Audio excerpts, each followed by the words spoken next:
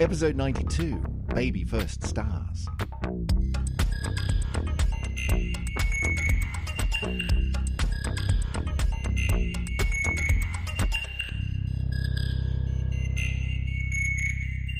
And welcome back for another edition of the Syzygy podcast. My name is Chris Stewart. I'm sitting in the office of Emily Brunsden. She is opposite me here at the table. Emily, how you doing? I'm very well, thank you. Good, good, good, good.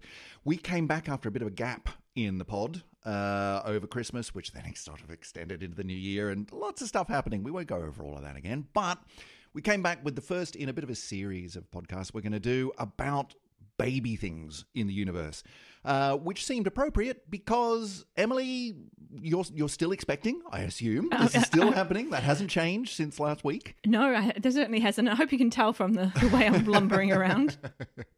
So that's all very exciting. We're doing a series of baby things. And so last week we talked about the baby universe itself, you know, from its from its rough infancy of, of huge growth spurts and enormous explosions through to the point at which we narrowly escaped from a dark forever future of just darkness and an expanding void when the very first little pinpricks of light in the universe turned on, the very first stars. And so we thought we'd talk about that today, talk about baby stars, the very first baby stars. But before we get to that, Emily, I just wanted to touch on something because before we did take our extended leave over uh, over the Christmas and New Year period, um, we were getting very excited about something. Something was about to happen in the world of astronomy. The James Webb Space Telescope, or the what did they what did they decide to call it? The Just Wonderful, Just Wonderful. Just Wonderful Space Telescope uh, was about to launch, and it was going to launch. Well, I mean, it's been about to launch for decades now, but it finally was gonna, and it was going to launch on my birthday, the 18th of December, and then that got put off to like the 20th or something, and then it just kept getting pushed back, and it finally launched when On like Christmas Day. Christmas Day, which was a big Christmas present for everyone. But we never really got a chance to check in on that one. So, how's it been going? Yeah, well, I certainly sat around on, on Christmas um, Day and had a look and watched the, the launch. It was all very exciting. I was going to, and then we all had COVID, and I couldn't drum up anyone's interest. So, I sat in a corner on my phone watching it, and I got excited, and no one else cared, Aw. which is a bit disappointing. but it launched, and it got up there, which is that's number one, right? Get off the ground and out of the atmosphere. Big sigh of relief because there's a lot of money and a lot of time and a lot of passion invested in this thing. And so to actually get it into space at all is a good effort. But that's just the first step. Yeah, so that, that was kind of, I guess, number one sort of uh, agonizing point at which things sort of gone horribly wrong. Yeah. And it could have just blown up. And there's still, you know, 100 more to go. But Yeah. in terms of sort of, I guess, the risk factor, that was one of the big, big ones. Yeah. Um, and then it's kind of been, it travelled on its merry little way out to Lagrangian point two. L2, yeah.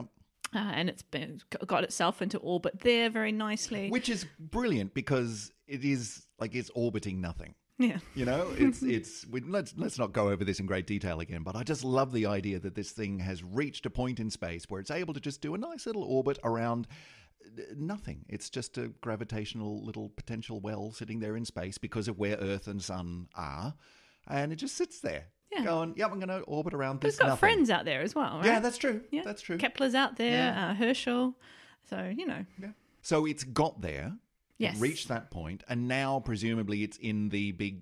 We're going to set everything up and make sure everything's working phase, which for James Webb is non-trivial. No. It's not just a matter of turning it on. no. Remember, one of the big reasons for the extra, I think it was two or three years delay, ended up being because they had trouble unfolding it. Yeah, yeah. I mean, this is a massive piece of highly technological origami that we're talking about here. Really expensive origami, big mirror that needs to not just sort of flip up, but actually unfold in multiple pieces. And the the it's the solar sail, not the solar The sail, but shield. the heat shield Yeah. needed to unfold again, sort of almost origami style. Like, a lot of pieces need to work and work properly for this thing to actually go. And so far, Yeah. so far it's, it's actually happening. Yeah, and, and actually, there's been a really good communication about what's happening when, and I'd certainly followed when those major mechanical structures were being unfold, uh, unfolded because, again, that was one another one of those really high risk times where you know if it didn't work a couple of times in the lab being here on on, that Earth, team. Yeah, just oh Ooh. come on. Yeah. but so far all really going well. Um, and we looked it up just before we started recording, and they are in a phase where they are basically aligning things, aren't they? They're aligning all the mirrors. All these different parts have to be really precisely aligned so that they all basically point in the right direction and, and turn it into one big telescope mirror rather than lots of little ones. And they're in the process of going through finer and finer fine tunings of those before they officially kind of take first light. Hmm. Because what you were saying, basically, they they were trying to get it down to they have to overlap all the images from all the mirrors to less than a wavelength in error margin. Yeah. Which a wavelength for optical light and even infrared light, you know, we're talking about just a few hundred nanometers. So Yeah, there's not a lot of wiggle room here for a lot of moving pieces. So it's all going well. Come on, James Webb. But I thought, yeah, I thought it was worth just sort of checking in on that one because we were a bit breathless with excitement in the pre Christmas last pod that we did. And then a lot of time has passed. So it's still going. It's still going really, really well. Yay, team. Well done, JWST people. Uh, but enough of that. Let's get on to today's topic, which, as I mentioned, we got to the end of last week's podcast where we'd gone through the Big Bang and cosmic inflation, which is nuts. Just want to underline that. Huge amounts of inflation and as the universe just expanded by crazy orders of magnitude. And various as it as it expands and cools, various processes of it's cool enough that we can now form these particles, and it's cool enough that we can now form an atomic nucleus, and it's cool enough that we can now form atoms. And then there was this long dark period where it's just cooling and it's cooling and it's cooling. How long was it? Like hundreds of thousands of years?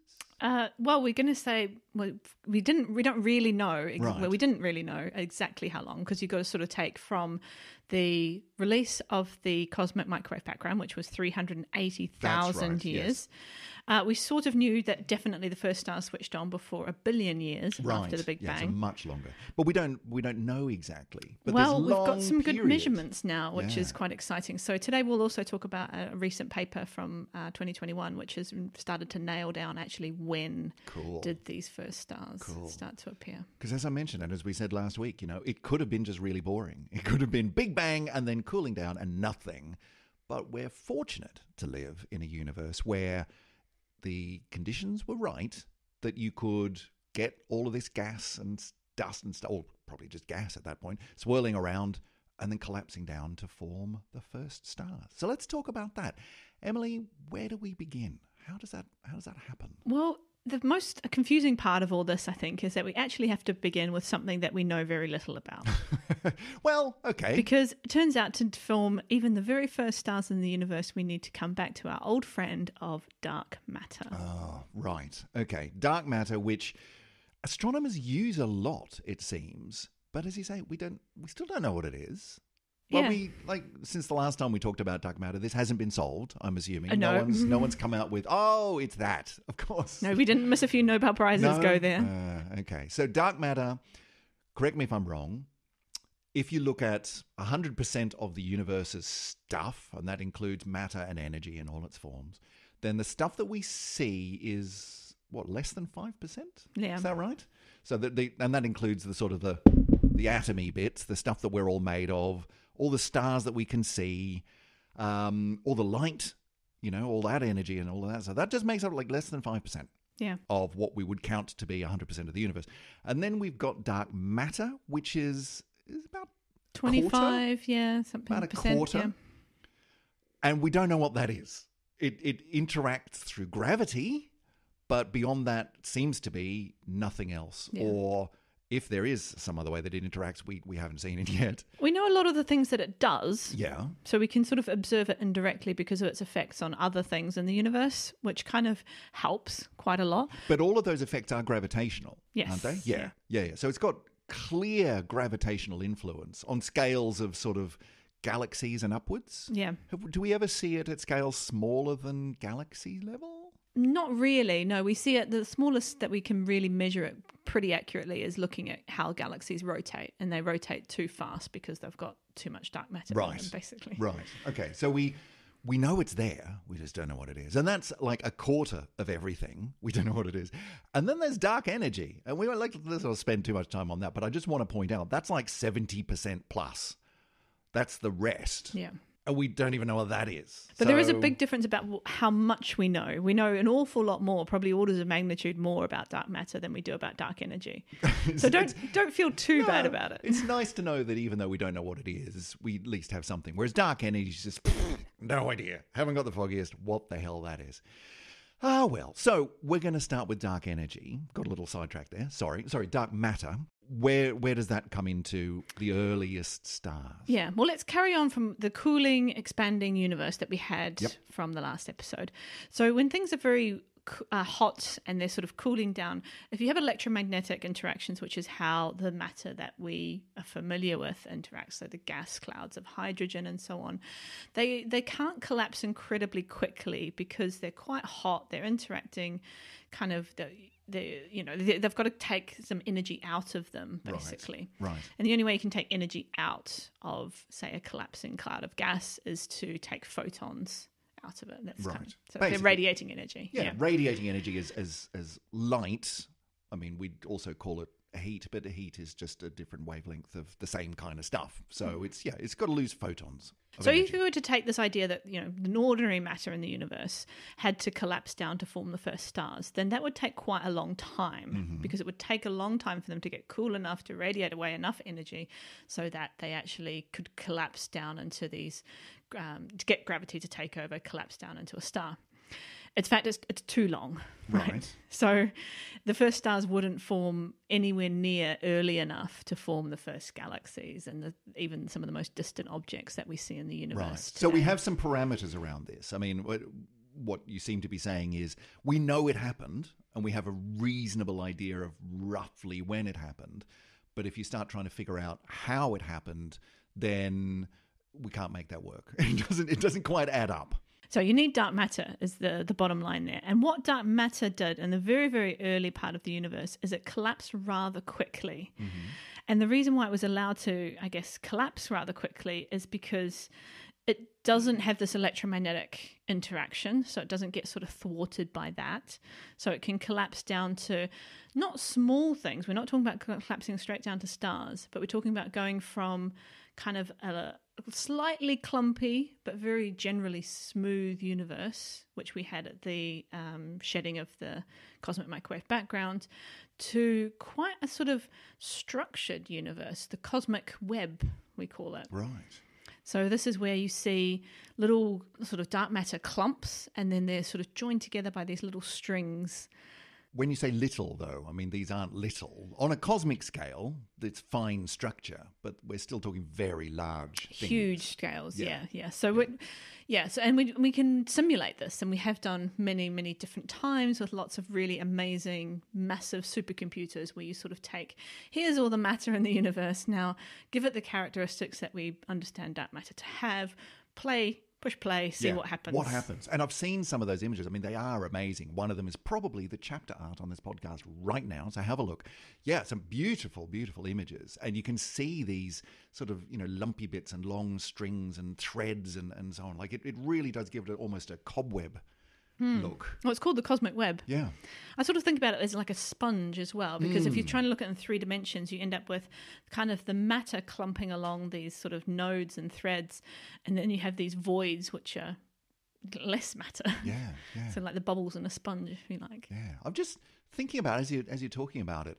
If if dark matter only interacts through gravity that we know of, why doesn't it sort of collapse down to make little? I mean, it, it kind of does, but it makes long strings. But I'm just you know I'm imagining the the in, in collapsing down to make stars like the matter we see doesn't form long strings and things. It forms little little lumps. Why doesn't the dark? Well, that's a really good that? question, actually. So we think that so the dark matter clumped down to a size of maybe about a million solar masses, and Right. that's kind of the the lumpy bits that you see in this cosmic web. Uh, it didn't go smaller than that because dark matter then has the limitation that it can't get rid of its energy in an electromagnetic way. Because it doesn't do electromagnetism. So Yeah. it's got energy, it's hot, but it can't lose that energy, at least in the in the the time honored fashion of hmm. other things, which is, well, we'll just radiate it as heat and light. It's fine. So, no, we can't. I can't do that, says Yeah. dark matter. Hadn't thought of that. So it's just sort of yeah, it's hmm. like a break, saying okay, that's the size that you got to be. Yeah. Which, So- which limits it to much larger structures. Hmm. Ah, there you are. But it was that whole process because so the dark matter we sort of call it cold dark matter because it didn't have this really hot temperature that the ordinary matter had from the kind of Big Bang itself. It sort of had this. It's not really temperature as we know it. Really, we're we're, we're being a bit sort of coy here, but we call it cold dark matter, which basically means it had less energy to try and get rid of. These things are relative, but astronomers play fast and loose with words anyway. You know, metal, for Yeah. example. But let's, you know, let's Yeah. leave that one alone. Cold Anyway, dark matter. So it was able to form this underlying structure, which then actually all of the ordinary matter, because it interacts with that gravitationally, was able to then collapse down onto. Right. So it sets the seed, Yeah. if you like. Yeah. Okay. And it's actually, I guess you could call this kind of cosmic web, um, in some ways, kind of the ultrasound part of going Ah, to okay. Yeah. Yeah. baby stars. Yeah. Because this is their very first kind of Giving you a picture Yeah. of what the what the end product is going to look like. yeah.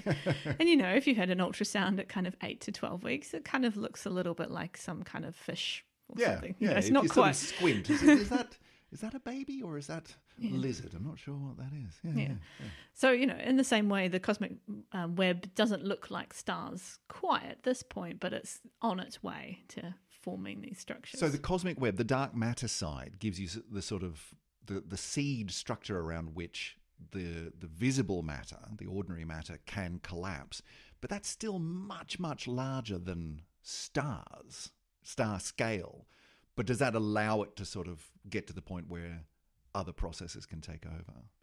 Well, yes, because now you've got this underlying gravitational structure, so it becomes easier for the ordinary matter to collapse, which Right. it can collapse faster than it would if there was no dark matter.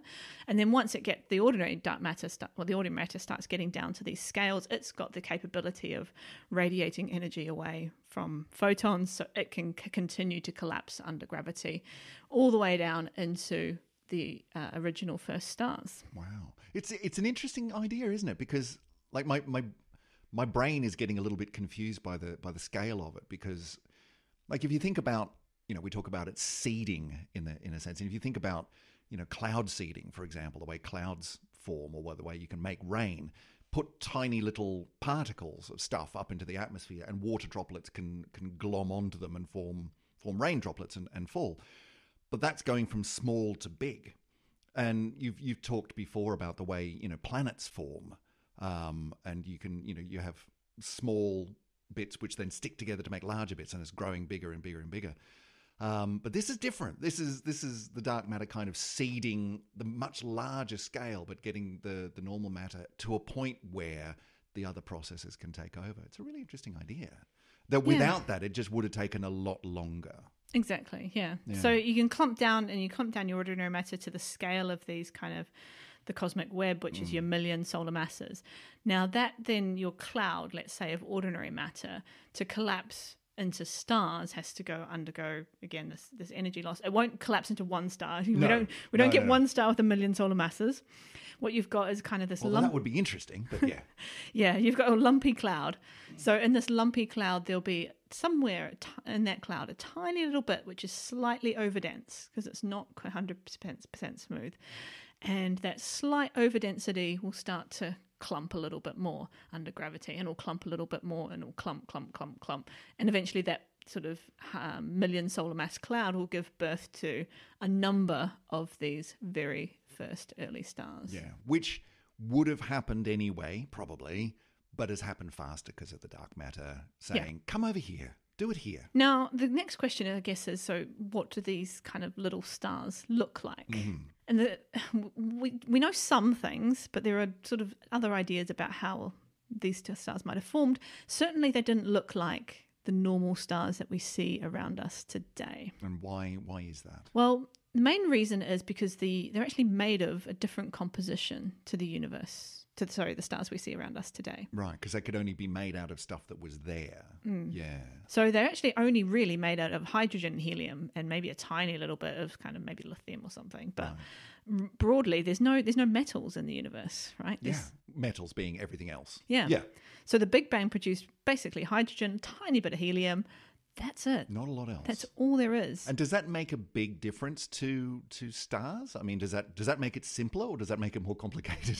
Well, it's very interesting because we, think that therefore their composition is it's obviously different in terms of the ordinary matter. They may have even had a slightly different composition that the dark matter contributed to as well. Maybe there was a bit more dark matter Right. that helped to form these stars, and that was in the stars as well. wow. But um, the tricky thing is, is that we actually haven't ever found one of these first Right. stars. It's a bit yeah, it's a bit difficult to study something that isn't there anymore. yeah. So you can only sort of I mean, guess is probably the wrong word. You can only hypothesize. Yeah, well, there's a couple of things we can model, do. We can kind of ba- backtrack. Yeah. So we actually have different, what we call different populations of stars, which are a little bit like generations. They're not sort of linear generations, but they're, they're basic, three basic groupings of stars based on their formation, their age, and and indeed how many metals they have in them, how many things they have that's not hydrogen, helium. right. So the obvious one to start with is the sort of the stars that we see around us today, the sun, etc. These are population one stars. Okay. This is a scale that goes backwards and it's always Right. I was me. about to say this is one of those ones where one doesn't mean one. One means that's where we are One now. means now. Yeah.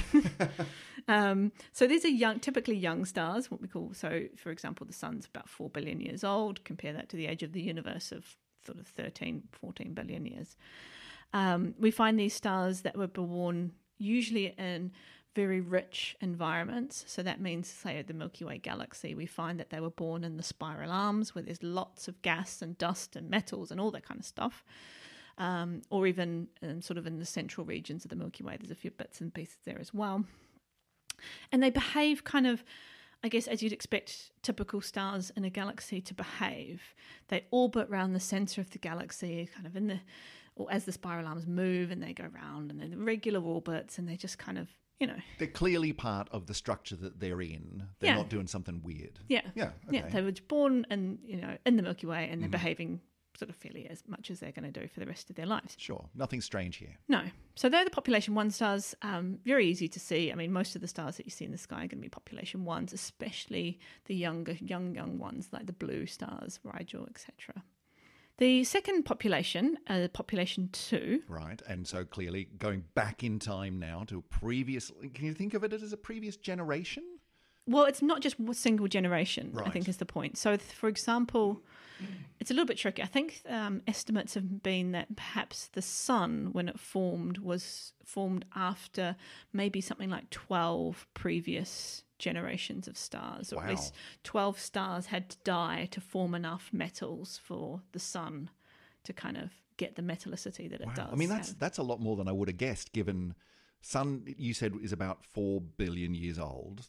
The Yeah. universe is thirteen point eight billion years. You can't fit 12 4 billions into thirteen point eight. So No, clearly, but it's not a linear scale. Stars don't last as long. Well, it's not linear either. You don't have to wait for one star to die, then the Oh, next I star to come along. They sort of Yeah, they can yeah. overlap, and they Gotcha. you know there's mixing of all the elements and so on. But Gotcha. It's like Gen X, Gen Y, Gen Yeah. Z, that sort of thing. Yeah, You don't have to wait for Gen X to die before Gen Y comes along. exactly, Hmm. yeah. So um, so these populations, yeah, they they they're I guess in broad, big, large generations. Like Gotcha. you might even say maybe something on the scale of 100 years or so of human evolution or something like that. So then, yeah, so uh, population two, these are, are metal poor, of course, because they were born at a time when there were fewer metals around, fewer generations of stars had gone through their life cycles to produce the elements that we see. So Right. And just very quickly, I mean, the metals, which again is everything bigger than helium. Yep. Yep. Um, they're coming from where in the in the life cycle? It's different points, but um, they come from part of the uh, fusion processes in very large stars. They come from the explosions at the end of stars' lives, whether that's supernova, planetary nebula. So there's kind of a few different um, ways to create different parts of the periodic table, which I think we did a phone episode on. I'm pretty sure we did. We'll dig it out somewhere. Um, Yeah, for the for the day of the, the week of the periodic table. That's right. Yeah, Yes. yeah, yeah. So uh, the the more time goes on in the history of the universe, the more generations of stars are producing more and more metals, astronomical metals in the in the universe, which means that later stars are starting with more of that stuff Yeah. in them, whereas the earlier stars didn't have it. No, exactly. They only had hydrogen and helium to work with. Um, but yeah, coming back to the metal, these um, population two stars with metal poor, we we do know of quite a few, and we see them, however, in slightly different places in the galaxy. For example, we see them in the bulge in the central regions of the galaxy. Uh, we see them in the halo, just sort of kicking around. So they're not in the places where the new stars are being formed. So why is that? What's what's happened there? So they either formed um, in a place which was, did you know, the, the, the bulge used to have more more gas and dust, or they've been attracted into the bulge. They've been kicked out of the plane of the Milky Way at some point in their lives, or actually the structure of the Milky Way was slightly different when they formed. It's kind of there's, there's lots of different reasons, Right. um, and even globular clusters, for example, which we'll talk about, I think, in a further baby galaxies episode, their role in how galaxies are formed. But globular clusters are some of the oldest structures we have in galaxies, and they have these population two stars. Right. So as we're going from population one to population two, we're going from nothing to see here. Population one, as you would expect, it's a galaxy. What? It's full of stars. You're looking at them. To population two is, uh, it's not. uh, No, we're, these are not the normal stars that we would expect to see around us in the galaxy. These are older, before that structure was set up. Yeah, yeah. And so then you go to, well, okay, there must be therefore this population 3 mm-hmm. which are the first stars that we have in the universe. Now, these are often called hypothetical. Right. Because we haven't found any. Yeah, I mean, I would say maybe not hypothetical, more theoretical, because they had to have happened. Right. I mean, yes, there had to be a first. I mean, hypothetical gives them kind of like, oh, maybe they did, maybe, Maybe they they- didn't. no, no, no. We, we, we know they were there. We Yeah. just don't see them. Yeah. Yeah, so these stars were formed just from the only elements they had around, the hydrogen helium. Um, and so they had no metals or virtually no metals. Now, we haven't ever found a population three star or one of these early stars. And there's a few good reasons for that, which we'll come back to. But that means that we're sort of working on theory as to how we think they might look like, how they think they might have formed. And so we actually had two really quite distinct theories about what these stars may have looked like. Okay. So we know that they were big because when you don't have metals, then you tend, if you just take a, take hydrogen and a little bit of helium, form a star, it turns out to be a huge star. Right. That's- Why and why is that? Is it just because of the relative masses of the of the elements involved that you don't have heavy things? Yeah, it's to do with how you you can put your structures together. When you've got heavier elements, then you can kind of collapse things at slightly different rates, Right. etc. So, just just collapsing hydrogen, say on its own with time and helium in it, you get that with a big thing, Okay. basically. So they're big. yeah. So we know they're big. We just don't know kind of are they big or are they were they really big? I mean, we have big stars. Like we know of really big stars. So when you say when you say big, Yeah, so the sort of the biggest stars that we tend to see around in the galaxy today go up to maybe about 100 times the mass of the sun. okay. So the big theory, if you like, for our population uh, three stars is that there were kind of maybe around 20 to 130 solar masses. Okay. So up there with the biggest ones that we see. Yeah, but this is this is like the whole population. Remember, Right. All of them are like that. all of them Yeah. are big. Whereas you know to get to even a sort of 20 solar mass star in our galaxy today is incredibly rare. Right. Okay. Really, So really rare. Most stars are sort of sun or a bit bigger. Yeah, well, a bit smaller Bit smaller, okay. Yeah, so I think the average is kind of yeah, a bit less, maybe about 0.7, 0.8 solar masses, Right. or the most common, But if you like. but the generation or the was it generation three? No, the Population. Population three. The population three stars were all They like were that. all so that's massive. fun. Yeah, yeah. Um, now, if that was the case, and they were all just born at this 20 to 130 solar masses, then they would have gone through their life cycles incredibly quickly because the bigger you are, the faster you fuse.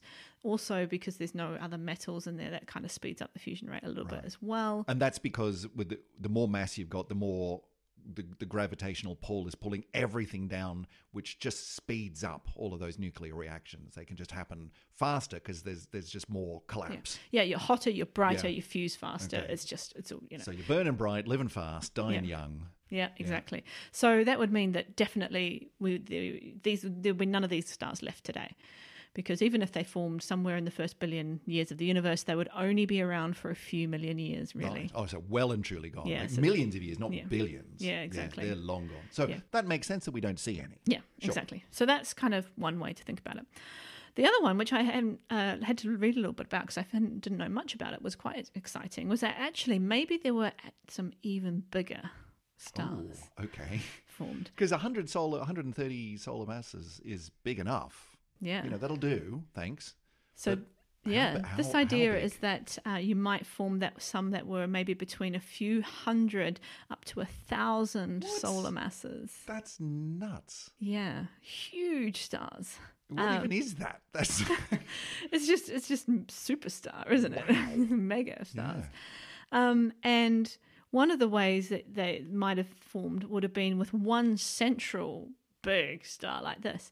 But you might have also had these some little satellite stars that Oh, kind of formed a little bit like planets, which form up from the leftover bits of a star. wow. Today, you might have had a big star form with some little stars forming from the leftover Isn't that wild? I mean, it's it's almost like it's it's mixing up in those very early stages because we don't have the sort of metal rich and highly structured sort of you know galaxy kind of structure that we have now. Um, it's kind of almost mixing the what even is a star? What's a star? What's a cluster? What's a, what's a group of stars? What's a galaxy? Like it's just kind of mixing together. I don't know. We're just forming stuff. Yeah. tell me. How big do you want it? You know, that's wild. It's amazing, isn't it? Yeah, Yeah. So these, I mean, the big, big ones obviously would only last again a few million years. Mm. I mean, you if you're on the lower end of the kind of twenty solar masses, and you might last for a couple of hundred million years. But when you're But even thousand then, you're solar masses, well and truly gone. yeah, you're you're down to single digits of millions of years by this point. Do we have any idea, like thinking about those uber stars? You know, the, the the really huge ones. Like, what what does the end of the road for them look like? That would be rather large supernova, I imagine. Okay. yeah.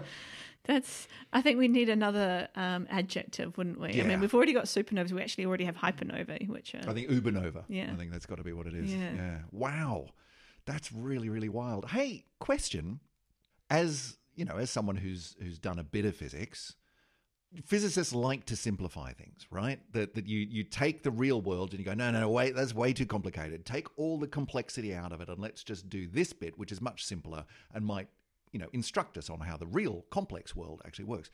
I'd have thought that how how do stars work? Well, let's make a model. Let's make a theoretical model of how stars work. They're really complicated. Surely the easy one to understand really well is if you say, "Let's make a star out of only hydrogen and helium." Like, isn't isn't that easy? Yeah, yeah. It just depends. There's, um, so much variation or variables going on in here because you're working in a dark matter halo, which you don't necessarily understand very well. Which you don't even know what it is. Um, yeah, that ingredient. you don't know what interactions exactly that dark matter is having with the ordinary matter at this point. We know they're interacting, they're doing stuff together, but um, like I kind of alluded to before, maybe some of the dark matter goes into the formation of these stars. Yeah, which that's something we haven't really come across before. I mean, we said much earlier on in the podcast that the dark matter is sort of doing really large scale things, but that's implying that dark matter's taking part on the on the scale of yes, stupidly large, but stars. Yeah, yeah. And in fact, that there's even a, um, a theory of dark stars, which are kind of they're, they're actually mostly ordinary matter still. They're Right. not they're not a star made of entirely dark matter, which would yeah be kind of cool. what even but, is that? yeah, no, it wouldn't work because they can't fuse, so No. it's, it's No, pointless. no. But yeah, they're basically stars that have a very high or very significantly higher fraction of dark matter than any of the stars and so on we see today. And that changes their properties, their behavior, how they fuse, etc. So the complication added in on my, on top of my my very naive modeling is, yeah, but Chris, you're forgetting about the fact that we're dealing with a universe which involves a large quantity of stuff that we don't even know what it is. Yeah. Yeah. Okay. Right. I'll Um, step back now. but the cool thing, I guess, about these megastars and their little kind of baby stars that might have been around them um, is that if those any of those sort of satellite stars were formed and they formed at less than 0.8 solar masses, then they would be around today. ah. So that could have happened, Possibly. which means we could find them. Now, they're obviously not loads of them, or we would have gone, oh, it's those, those things. Right. We see them all the time, tripping over them. But we still haven't seen one of them. We haven't, no. And it's a very sort of interesting question of, you know, would they have made it into galaxies, for example, or would they have been blown apart by just the, the sort of fireworks of supernova that were going off in the very sort Yeah, of yeah. first generation So of stars? even if they could have lasted, would they have lasted Yeah. given everything else going on? There's kind of one idea that maybe the only way they could have survived for to this day would be if they got sort of kicked out of their matter rich sort of areas and maybe got kicked out somewhere into a void. Wandering free. Yeah, and just sort of killing killing time in one of these big cosmic voids, which What a wild idea. I mean, could you. Is there even the conceivable possibility of detecting that? Like, surely that would be such a tiny pinprick on such a vast scale. You'd never. Well, that's the problem. Yeah, you're trying to look for one star in the very very early universe, hmm. and that's incredibly difficult. Yeah. Can I guess that that's like no one's counting on that? That's No. not going to happen. No, not Yeah, not right, not on okay. a single star, but Right. you know, there isn't kind some of there isn't someone out there with a telescope going, "No, I'm the one. I'm going to find the things." Like no one's doing this. No. no. But then, you know, it's a big universe. Maybe a star wandered into a void, lived out there for a while, got caught up in an, in a, it would have to be our galaxy, I guess, at least. Um, later on in the Mm-hmm. Right, piece, yeah. came in for another so got merger. captured again, and you could see it. It's not impossible. Unlikely. it's unlikely. what would it? What would you look for? Like, how would you know? How would you know if you saw a population three star? Well, basically, you'd only see the fact that they've got hydrogen and helium in Right. their atmospheres. from their spectrum? yeah. Right. So we can take a spectrum of a star and it gives us this kind of chemical fingerprint of what the outer layer of the star looks like. And so for the sun, we see lots of metals. We see everything all the way up to iron species, loads of different spectral lines. And so we have a very good understanding of what the atmosphere of the sun is made of. Um, and, And that's a dead giveaway for Yeah. a population one star. Population two? Like, can you look at a star and go, population two? you can look at the spectrum. Yeah, Yeah. absolutely. Yeah, and you can just see there's just like where where are all the metals? Where, where's all your stuff? And popula- but population two has some metals, but Some. not much. Yeah, exactly. Right, right, right. Very And so- very low abundances. So if you found a star and saw it and went, there's nothing other than hydrogen and helium, and that would be really clear, right? Yeah, because exactly. we know what the spectrum, what the fingerprint of hydrogen and helium are like really, really well. It would be the absence of everything else. That's like, there's nothing there. Oh my God, we've just found a population three. yeah. Yeah. But it's never happened. No. Hmm. So, and those those are some of the reasons why it might. It's not just like we can look around today and say, "Oh, that star was one of the first stars in the universe and the galaxy we have today."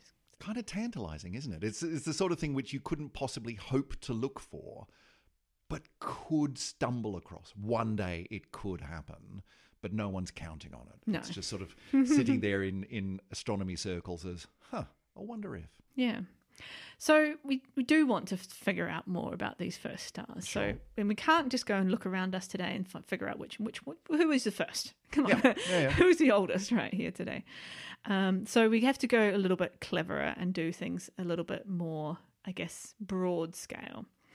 So I think it's a good time at this point to just remind us about how distance and time works in the universe All right, buckle in. Yep. and how we astronomers can play the game of let's look far away and we will see things that happened a long time ago. Right. And as a little reminder on that one, that's because it takes time for light to travel to us. And so the further away something is, by the time we see it, that light came from that object a long time ago. Right? Yeah. If it's 10 billion light years away, then we saw it 10 as it was 10 billion years ago. That's Exactly. the idea. Yeah. Yeah. Now, that works quite well for doing direct measurements of, say, things in the galaxy, things even in nearby galaxies. It's kind of fine. The problem is it gets a little bit fudgy when you do it for very distant objects. So you could say that a galaxy is, uh, like, say, a few billion light years away. But the problem is that things are not quite linear when you talk about the very large scales of the universe. Why? So- in, in what sense? well, so photons, if they travel for a very long period of time, they might go into places which are high gravitational areas, which kind of slow them down a little bit. And then, you know, the Hubble's constant, which is how we measure how much the universe is expanding. There's questions about whether that's even constant on the really largest scales. Right. It's so all it's very not as simple as it's just been traveling across very, very plain, simple, homogeneous space, which is expanding, sure, but we like that's simple, easy, just write it down, it's no problem. No, no, no. It's been going potentially through all sorts of crazy things, gravitational wells and, and so on.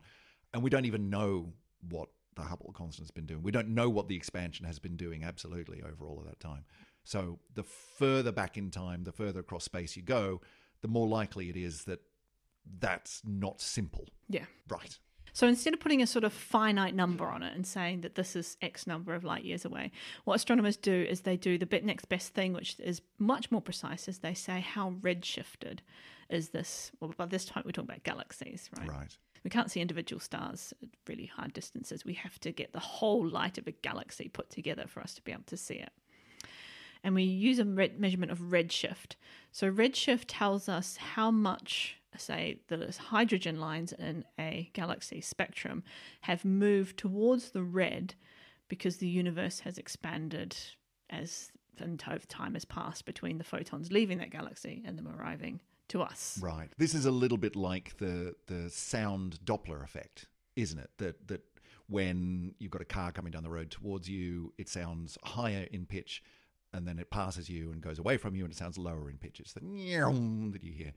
And this is kind of that, that as the universe is expanding and things appear to be rushing away from us out there in the in the universe, that has a, the effect on the light similar to the car passing us that the, the the sound of the car goes down the light gets red shifted gets stretched in that particular direction so we know what the this particular spectrum lines should be but they're not where they would be if it were right next door to us they've Yeah. been shifted down into the red part of the spectrum and that roughly correlates to distance but we don't Yeah, it means it's a direct measurement. We're very we're good at measuring spectral lines. We can make those Sure. measurements. We know that those are accurate.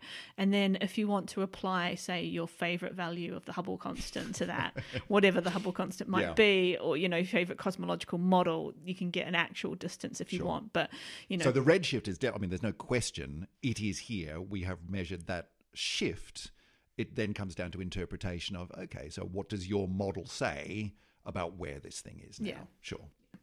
So we tend to work in redshift. So we can see the most very distant galaxies, which have to be very, very bright, remember, because, you know, it's just like everything else, they get away. fainter as you Yeah. get further away. Um, very distant galaxies we can see are somewhere between 9 and 11 redshift factor. So we call it Z, 9 to 11. And is that's big? It's very big. Right. Right. So that's that's a really long time ago. Um, it's sort of we're looking at, I guess, in the first few hundreds of millions of years of the uh, universe. Wow. So late, late in the late part of that. So Yeah. yeah, up to about a billion Yeah. years. So that's a really long time ago. I mean, those those structures are forming like that's really early when you consider how, you know, how energetic the universe's birth was.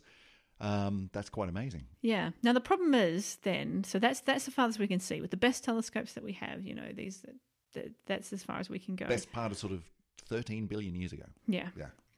So the problem is that the we believe that these first stars formed around about redshift 16 to 19. That's a lot more. yeah. Yeah.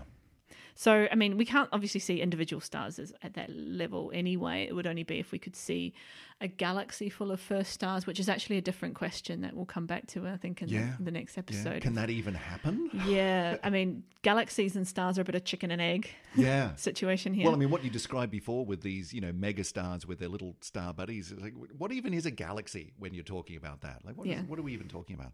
So you don't necessarily get this clumping of um, loads of loads of stars into a single object that you can therefore see at a really high distance. Um, but yeah, so 16 to 19 is just outside of the reach of Right. telescopes. Yeah, we can't get there. Could we conceivably ever get there, or is there sort of a limit there on? We're never going to see that. Well, it's a good question. I think we'll get closer, and we're going to get closer actually very, very soon, as we'll talk about in a minute. But I don't know. It, de- it depends on the, yeah, you just need a lot of light. You- like you, it's not just uh, you know a few stars. You just can't see a few stars. We're talking about getting hundreds of billions, maybe even um, thousands of billions of stars together before we can see them at these distances. So we could push closer, but could you get that far? Uh, we'll see. yeah. Yeah. But anyway, so we can we can get sort of most of the way back, but not the whole way back. So there's a really interesting paper that came out last year, which has now started to put some actual full, full firmish numbers on when did these very first stars form in the universe, and they did it in a really clever way. I got very excited when I read this paper. So this is a paper from um, Laporte et al., who published this in June 2021. And they were looking for what they call cosmic dawn, the first stars. You know, when did that happen exactly? So, what uh, data we have available to us are these galaxies that we can see um, at, you know, these these really high redshifts between uh, nine and eleven, and with most of them, they they took about six of these really high redshift galaxies, and they are kind of around about five hundred and fifty million years after the Big Bang is the kind of their average age. Okay. And they said, okay, that's what we can see. Now we know that the stars had to be born before that because we see them in the galaxies. Yeah. No. yeah. But what they were able to do is this really clever thing where they took spectra of these galaxies. And I have to stress here, this is not easy. I, we, we say you just take a spectrum of a star as if it's, you know, the, the easiest thing in the world. And to some senses, if it's a nearby star in our galaxy, Yeah. The sun, piece of cake. Yeah, Yeah. exactly. Taking a spectrum of a galaxy that's, you know, at these insane redshifts takes some of the biggest telescopes in the world with some of the best spectrographs in the world. So I was pretty impressed when I was reading that they they took 70 hours of time on literally the biggest telescopes and arrays in the world, right? Wow. So we That, got I mean, that's a lot. yeah, 70 hours is a lot. And we're talking about ALMA, which is the massive microwave telescope array in Chile. We're talking about the VLT, the very large telescope structure that we've talked about before, that was looking at um, black holes and all Is sorts of things. Hawaii? Is that? Uh, it's also in Chile. oh, it's also. Yep. Yeah. Gemini South, another one of the big mega um, 10 meter class telescopes. Keck, another double 10 meter class telescope in Hawaii. So, you know, these, are- They these really are pulled out the big the players. this yeah. Yeah, yeah. You know, if Yeah. you were to write a wish list of the telescopes you would like to observe the early universe with, then I think, you know, Just all of them. Can Yeah. we use all of them, please? And presumably, the problem is that, like, you they, they're so far away and they're so dim that you've got to have a lot of collecting power to be able to get enough light to see anything at all. But then you've also got the fact that because the light has been traveling so far over so much distance and crazy stuff in space, presumably the very things you're trying to measure, which is not just light, it's the spectrum, it's the spectral lines, these things get smeared out. Right? Yeah, well, we're not even talking about spectral lines. We can't, we can't even get to that level of detail. Because imagine, you know, you've got this galaxy with hundreds of billions of stars. Um, you're not seeing each of those as tiny little pinpricks. These are not the Hubble images of nearby galaxies Yeah, yeah, with yeah. beautiful structure. This is a blob Yeah. on the sky. Mm-hmm. It's it's a reddish coloured blob, and that's what you're going to get from So it. So, what are you measuring then? So you're measuring the color. Mm-hmm. So you're measuring sort of how the color distribution of the galaxy is, and you can kind of do what is very low resolution spectroscopy to try and sort of split out how much broadly are in these wavelength regions, Right. Okay. rather than you know a very high um, high resolution spectrum that you might see for a, a nearby object. Right. But that color does tell you something interesting because colors of galaxies change over time, right? Because stars' colors change over time. So if you have a galaxy which is very, very young, that's only just come together and forming stars uh, right now, then it tends to be a lot bluer, right? Because you tend to form much more of these very big blue stars. They're very bright. They contribute a lot of light to the galaxy, but they don't hang around for long. Right. So you've got to be actively forming them to get a blue galaxy. If you go to a galaxy that's a little bit more old and kind of not forming stars anymore, it looks red because all the big blue stars have gone. They've evolved off and doing their supernova and all this stuff. So you've just got the reddy big giants and uh, red main sequence stars left. So just by looking at the color broadly of the galaxy, that gives you information on how long it's been around. Yeah. Yeah. Yeah, so you've got to do some modeling here, Mm-hmm.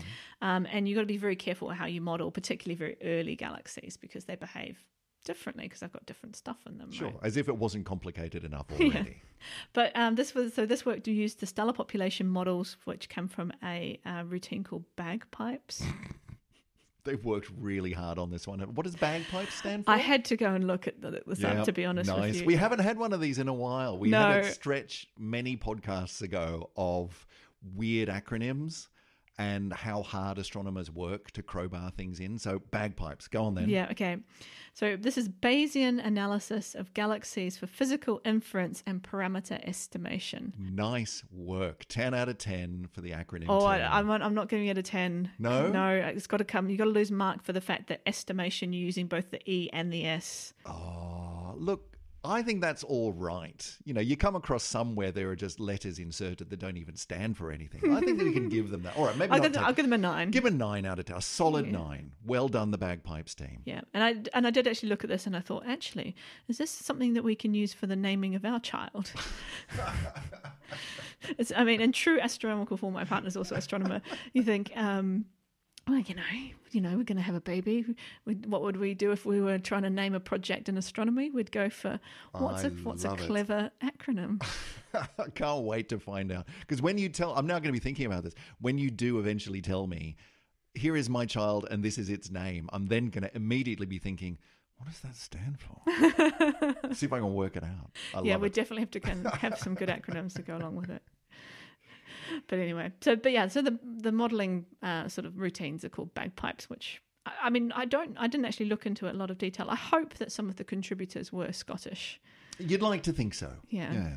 um, at least. But anyway, so what they're able to do is take your colors, your very sort of basic spectrum that you've got from this galaxy, and sort of rewind the clock and say, well, what would this have looked like in the rest frame of the galaxy, which means basically in its sort of heyday of when it was born, etc. Um, turn that back into a, you know a normal age um, profile. And from that, they were able to figure out some really cool stuff about the um, galaxies and the stars that are in them. They found out that actually, they the stars were largely born around about 250 to 350 million years after the Big Bang. Okay. Which is not long. It's not long at all, is it? No. Really? Because you think you know, that's we're talking just just fractions of a billion years Hmm. out of our whole you know, cosmic history of 13 or whatever. Billion I mean, it years. is a bit weird to talk about hundreds of millions of years as, oh, that's nothing. But, Yeah. but in terms of what's just happened, you Hmm. know, the creation of the universe, all of that, um, that's not long No. to then form what is small scale stuff in the universe. Like that happened quick. Yeah. And in fact, they've estimated that 70% of all the stellar mass, so the stars basically in their mass form, um, was in place by a redshift of about 10. So that's what we're observing, Yeah. right? So basically, we're saying we can see now about what- with those galaxies about 70% of everything that galaxy is going to kind of have in the future. Wow. We're already seeing that. Wow. So- That is that is amazing. Yeah, it's cool, isn't it? Yeah. So, but these aren't the earliest ones. You know, these well, are the- just these the are the earliest f- ones that we can see. These are the we believe these were the first stars. Right. that have gone on and evolved. So, although what we're seeing now in these galaxies are the subsequent generations, Right, of course. they're saying yes. was kind of you, you rewind when were the first stars formed, such that the galaxy can be oh, how it is today. Yeah, yeah. Because of course, I mean, in my mind, the earliest stars and the earliest galaxies. If the stars aren't around anymore, the galaxies aren't around anymore. But it doesn't work that way, does it? stars die and create new stars. That's Yeah. what stars do. Yeah. Wow. Yeah, so it's quite cool. That's wild. And I think what's the most exciting part of all this is that all this relies on really precise measurements coming from near infrared to infrared sort of observatories. We've just launched one of the, or definitely the best infrared telescope that we have ever even conceived of having. Turns out, yeah, we've got one of those, and it's currently gearing up to do its thing. As we said at the beginning of the show, the JWST is aligning all of its bits in the right direction. So, hmm. So presumably it'll be able to weigh in. This will be a good thing. Absolutely. It's one of the main science goals of James Webb Space Telescope is to see can we get more information about these early stars? Can we find galaxies at more distant redshifts because we're now in a place where we can see like Hubble doesn't really look in the infrared, which is Right. where you need to be for these really red galaxies, redshifts. Um, so Hubble's only gone to this kind of 11 point whatever redshift. But if you've got a telescope that's designed to go down and also a lot bigger than Hubble, Yeah, yeah, yeah. um, so how, like, what what are the parameters on what we think JWST can do?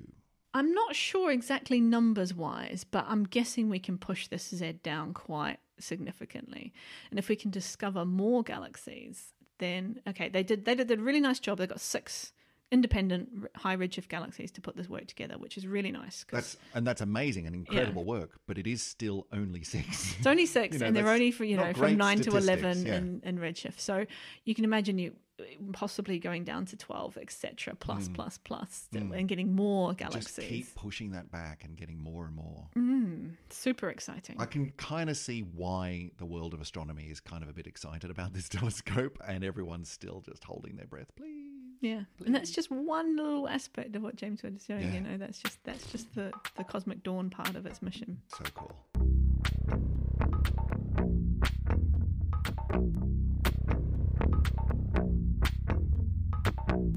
Well, Emily, if I wasn't already super excited about this little spacecraft, large spacecraft, it's not little, uh, out there at L2, currently unfolding itself, stretching in the cosmic void, and beginning to, we hope, look out into space and measure stuff better than we've ever measured it before. I certainly am now, and the JWS team just deserves the biggest standing ovation when all of this gets up. If all of this gets up. When it all gets up. It's really exciting. It's It is. amazing stuff. Yeah, we're taking sweepstakes now from what James Webb Space Telescope's first image, you know, the first big public image that it puts Oh. out is going to be.